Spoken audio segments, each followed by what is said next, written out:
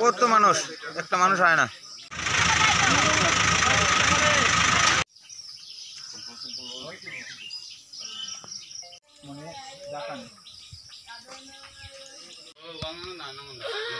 ও শান্তি আমি আছি মরি গেলে তো শান্তি দিল না।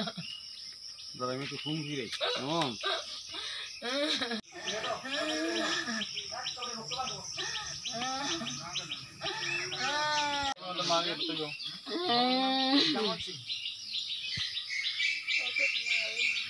কি হয়েছিল ঘটনা? আমি পবিসি ক্লাবের সামনে দোকান বসি। দোকান বোয়ার পরে আমি আটটার দিকে আইছি। আটটার দিকে আসার সময় আমি টেবিল টেবিল রাখিয়ে গেছি এখানে। টেবিল টেবিল রাখিয়ে গেছি। রাখার পরে আমি গেছি। রাত্রিবেলা? হ্যাঁ রাত্রিবেলা আটটার সময়। আটটার সময় গেছি আমরা লুডু খেলা মানে আমরা এখানে লুডু খেলা হয়। মানে আমরা স্টাফের একটা লুডু খেলা হয় আর কি। বাজির লুডু।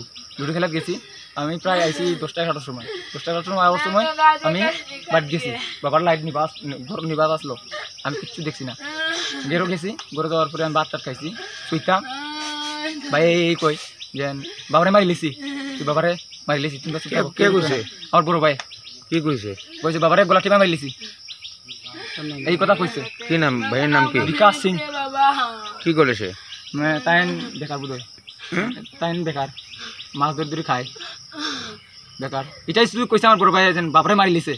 স্পষ্ট শুনছি এটা আপনারা যদি সবুজ চান আপনারা আমি বাচ্চার কসম কাটিয়ে কইতে পারব বাপরে এই এই কথা কইছে আমার কাছে। কইছে এই কথা কইছে অ্যাকচুয়ালি আজকে সকালের দিকে থানাতে খবর আসে যে বিদ্যামোহন সিনহা পঞ্চান্ন বছর। ওনার মৃত্যু হয়েছে। অ্যাকর্ডিংলি পুলিশও আসে তারপরে আমরাও আসি তো এখানে ওনার ছেলে বিশাল সিনহা একজন আছে, ছোটো ছেলে। আমরা ওনাকে সাসপেক্টেড হিসেবে এখন ডিটেন করছি। আর বাকি বিষয়গুলো আমরা দেখছি। এভিডেন্সের বিষয়গুলো আমরা একটু খতিয়ে দেখছি। আমাদের সঙ্গে মোবাইল এফএসএলের ইনচার্জও আছে এখানে, আমাদের ডগ স্কোয়াডে এসেছিল। তো সব কিছু আমরা ভেরিফাই করে দেখছি। পরবর্তী বিষয়টা আমরা ভেরিফাই করার পরেই বলতে। আরেকটা বিষয় ওনার ছোট ব্যাটা নিয়ে কি বলবেন? দেখুন এখন এভিডেন্সের বিষয় আছে এখন এক্সামিনেশনের ব্যাপার আছে উইটনেসের তো সেগুলো আমরা একটু খতিয়ে দেখছি আর কিছুটা এভিডেন্সের উপর ভিত্তি করেই আমরা ছোটো ছেলেকে এখন ডিটেন করছি। বাকিটা আমরা একটু এক্সামিন করি পিএম হোক তারপর বাকিটা বলতে পারব।